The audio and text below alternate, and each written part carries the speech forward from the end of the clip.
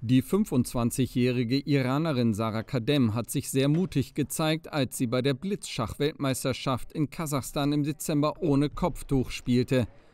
Denn das ist im Iran für Frauen verpflichtend. Aktuell lebt sie in Spanien und reflektierte nochmal die Geschehnisse. Uh, es ist etwas, das man tun muss, weil es den Regeln deiner Heimat entspricht. Aber wenn man nicht daran glaubt, stellt man sich als jemand dar, der man nicht ist. Es gab bereits Zeiten, in denen ich Turniere ohne Kopftuch spielen wollte. Und als all die Dinge im Iran passierten, dachte ich mir, dass wenn ich jetzt zu einem Turnier gehe und mit Kopftuch spielen muss, ich lieber gar nicht spiele. Also habe ich beschlossen, ohne Kopftuch zu spielen.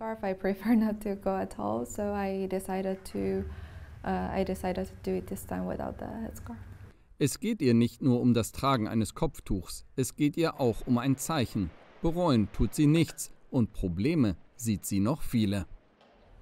I also felt really sad by what was going on, but you know the problem in Iran uh, now they are Ich war auch sehr traurig über das, was vor sich ging. Aber das Problem im Iran ist, dass sie für die Rechte der Frauen kämpfen. Also es geht nicht nur um den Hijab. Der Hijab ist eine Sache, aber es geht nicht nur darum. Es gibt viele Dinge, die im Iran frauenfeindlich sind. Zum Beispiel gibt es viele Regeln, die für Frauen und Männer unterschiedlich sind so dass es keine Gleichstellung der Geschlechter gibt.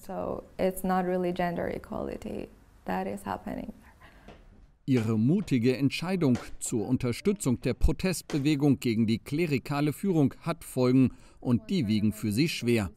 Denn die iranischen Behörden hatten sie aufgefordert, ein Video aufzunehmen, in dem sie ihr Bedauern über ihre Taten zum Ausdruck bringt, als Bedingung für eine Rückkehr in ihre Heimat.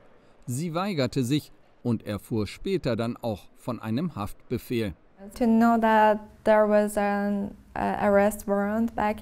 Zu wissen, dass in meiner Heimat ein Haftbefehl besteht, hat mich nicht gerade glücklich gemacht, denn in dem Moment wurde mir klar, dass ich vielleicht nie mehr zurückkehren kann. Und das Recht zu verlieren, in sein Heimatland zurückzukehren, ist, glaube ich, das Schrecklichste, was einem passieren kann.